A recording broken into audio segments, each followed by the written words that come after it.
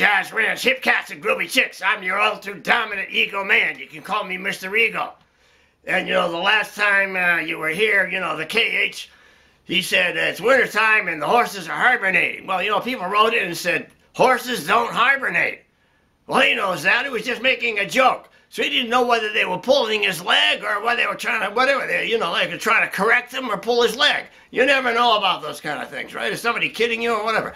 But anyway, I'm going to tell you a story about the KH back in the days when he was playing. Uh, for 17 years, he played over here in a little club out, out on the shore with a group called Standard Time, you know.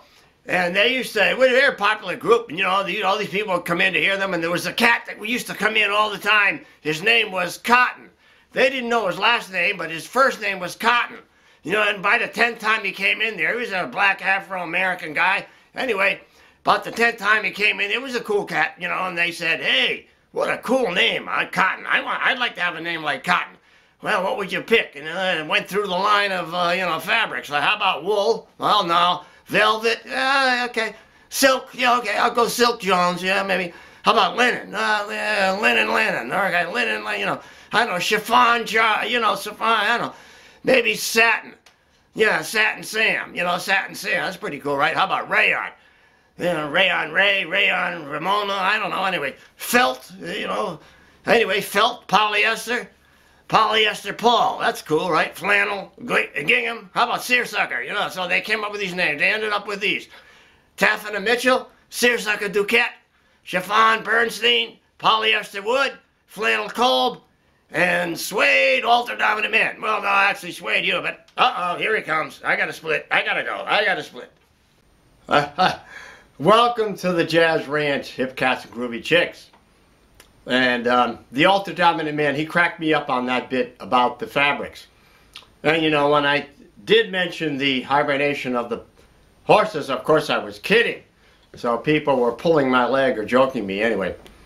But I have a special request from a subscriber to talk about Dave McKenna now. If you haven't heard of Dave McKenna, he's a great pianist who lived most of his life in New England, in Massachusetts, on Cape Cod, and so on. But he was just as good as anybody anywhere in the world. He just didn't make a name for himself around the world, which is too bad in a way. Because George Shearing said he was the greatest pianist, that Dave McKenna was the greatest pianist he had ever heard. And he really was. When you listen to him, you have to get his recordings to listen to him. You can't get it from me. But I'm going to take four of his techniques. I'm going to show you four of his techniques that he used on a particular song called Have You Met Miss Jones by Rodgers and Hart. I'm using that song. I heard him play these four techniques. And they are the spread voicing, the tenths, walking tenths, the bass line, which was his signature sound, bass lines, jazz bass lines, and then also stride. He did all the all these techniques, and he combined them into one song. So I'm going to give you those, and we'll talk about them later on. But here we go now with Dave McKenna's interpretation of "Have You Met Miss Jones."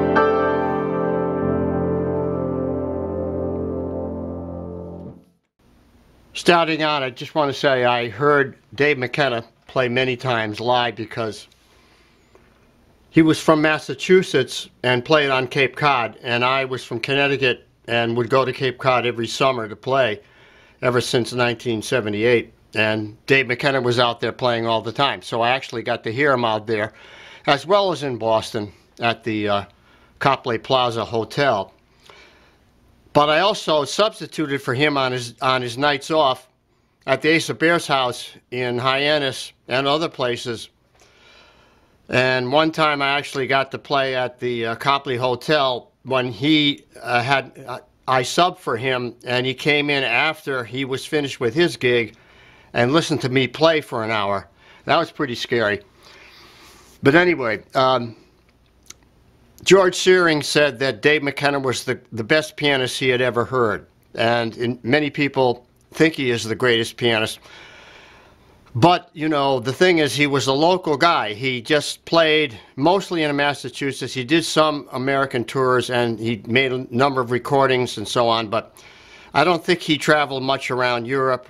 He didn't become internationally known. So if you're from Europe and you don't know who Dave McKenna is, then you're in for a surprise. Just check out any of his recordings and you will hear one of the greatest pianists ever. And he played in a variety of styles in which I'm going to show you just sort of tidbits of each of the styles on this song, Have You Met Miss Jones? Rodgers, yeah, Rodgers and Hart. And I'm going to be showing you four of his techniques. And I haven't mastered any of them really the way he has. So you're better off listening to him and then listen to me and listen to this and I'll explain them. That's one thing that he will never do is explain anything that he played. As most of the great players, Miles will never explain or, or Dizzy will never tell you how they played what they played or how they came to know it or so on and, and so on. So I'm one of those people that is going to do that for you so I'm in between, you know, in that way. But I'm, I'm, I love doing it. And so here I'm going to lay, lay it on you. The Dave McKenna styles. Here we go. Now the first technique that Dave is playing is basically your, your um, spread voicing, which means that he's playing a lot of tenths over here. Tenths and sevenths, so I would like to play it like this that, you know, that's a tenth there. Now it goes to this one seven, one seven. Then there's another tenth. Like, or I might do that, you know. Now this next thing that happens, I just wrote out the harmonization of this line. When you have a rising line like that. And you're probably wondering what that is. Well, it, all it is is just I'm voicing the chords like this. And if if you've been watching my videos, then you you know that this relates back to the uh, Barry Harris sixth diminished scale line because it really is based on the B flat line. It would be this this scale has that note in there, so it'd be like this. Not quite exactly like that, but yeah, there it is. There's the second chord. And then this one. But now I'm dropping the two, so I'm taking out the second note. So I'm taking taking out that note, and putting it down on, well, that note there. Putting that note down there. So I have this. Now you probably can't see that, so you look on the score on my website and you'll see it out.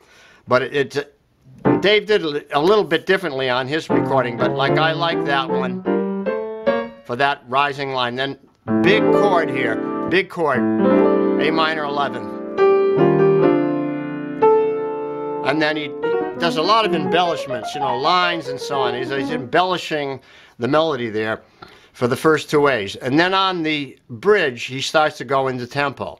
And he's playing a technique of stride. So he's doing this.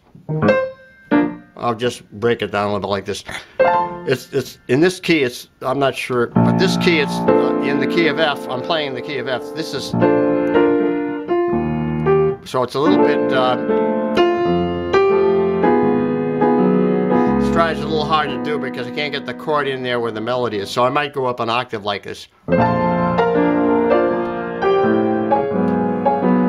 Now stride just means you're playing bass, note, and then chord, like so.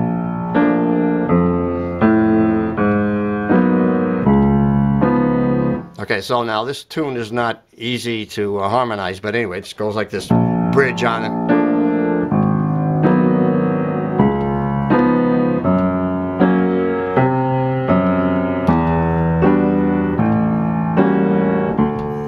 Then he has this figure. That's the Barry Harris diminished sixth scale again.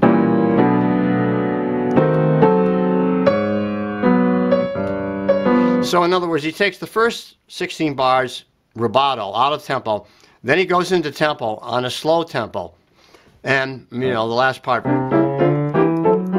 that same line, he's still in tempo now, but slow. Now he changes the tempo, makes it swing, and then he goes into his bass line, which is his signature sound. The Dave McKenna sound is his bass lines. So he has a walking bass line that the bass player would be playing, but he doesn't have a bass player. He's playing solo. So now, now, if you say, well, how do you do that? Well, now you want to watch my videos on how to play bass lines in your left hand. This is this is like uh, Dave plays all the great techniques that a solo pianist can play. If you want to play solo piano, you don't want to play with other musicians, or you just want to perfect your solo playing, you have to learn to play bass lines in either two beat, well, both in two beat feel like this.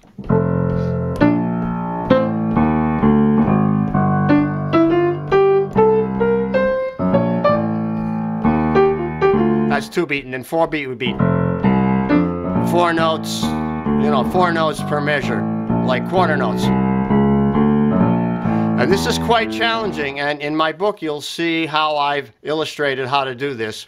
And also on videos I talked about my bass lines and connected them with my book. So like you will see how I create bass lines on the left hand. Now, you may ask, well, how are you able to split your mind into two, two parts? You have a, your left hand in one part of your mind and your right hand in the other part.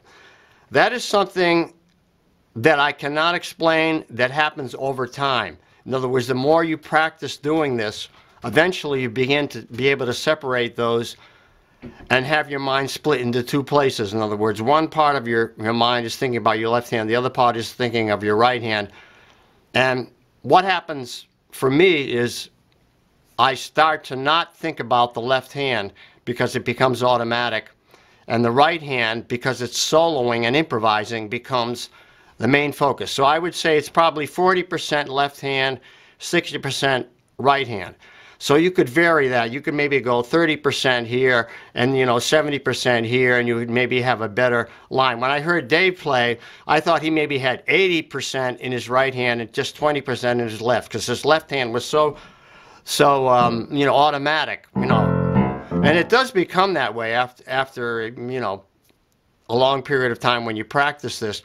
Now you may get this a, lot sooner, you know, you may not have to take so much time to get that, but that's what you have to do. So that's the second part of it, and then I'll continue. Now Dave probably plays this tune longer, but I got right to the third technique right away because I wanted to um, not have this video be too long. So let's review. Like you had this spread voicing technique, and I have numerous videos on that. It's just you're spreading out the harmony. And then we would go into a stride, you know, which would be bass, note, and chord. Slow for the second segment. Now, the third segment would be, after that would be the bass line. So now we're swinging, you know, improvising, swinging. Now after that, I went back to melody, but then I was playing his, uh, what I call his third technique. Let's see, we had uh, spread voicing. Then we had the bass line, yes. Now, the third technique would be the walking tenths. Now, these are tenths. So now to walk, to walk the tenths, you have to have, it's like a two beat. One, but it's really a four beat. Like it's, it's, it's bass note, the tenth with a harmony, bass note, the tenth with a harmony, so it'd be one, two, three, four, one, two, three. Now, notice that I'm doing 110, 110, then I'm doing 110, then I'm doing 17. So on the two fives, I tend to combine the 110 and the 17. Then I go 1. Now here on this next chord, I have the 110, but then I need to connect to another chord. This needs to be for four beats. So one, two. So I use a connecting note, connecting bass line note there. One, two, three, four. One, two, three, four. One, two, three, four. One, two, three, four. One, two, three, four. One, two, three. Now that's pretty complicated when you look at it right now. But if you watch my videos on this, I have other videos that describe this in, in great detail. I won't do that now. So I think the root and tenth technique is a little more difficult to learn. But, you know, if you're on that level, then that's what something you want to learn as a solo pianist because it allows you, expands your playing. And the last technique that he does is, of course, the, the uh, which is a classic technique. It came out of ragtime, which is stride. In other words, bass note, chord, bass note, chord, you know, that kind of thing. You know, so we had, uh, what do we have? I try to do more up here in terms of chords now because this is just, no. so you can either, you know,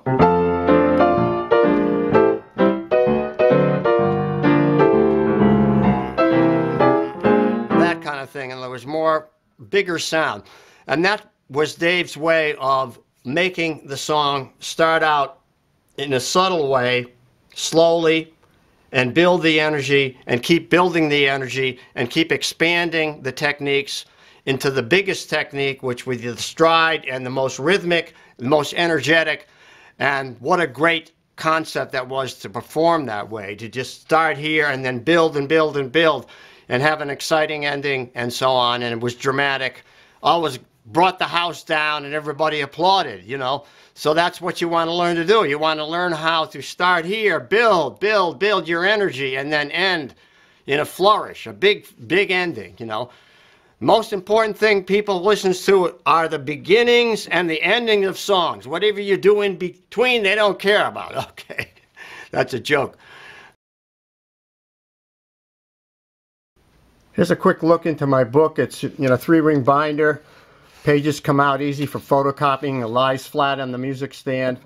And this is chapter 14 of book one on stride piano. You have examples, the theory, and then you have songs to play in that style. And then here's a chapter on tenths and a song to play. And then also in book two, you have a chapter on bass lines two beat bass lines and four beat bass lines and the rules and you have songs to play. So it's very practical.